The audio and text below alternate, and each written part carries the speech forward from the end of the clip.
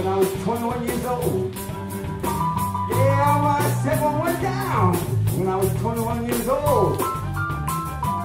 And all I've got to say is time for your Dorsey.